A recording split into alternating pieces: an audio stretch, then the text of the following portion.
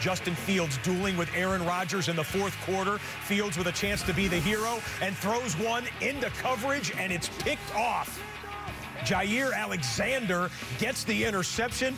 The young quarterback tried the veteran excellent corner. Advantage Packers on that play.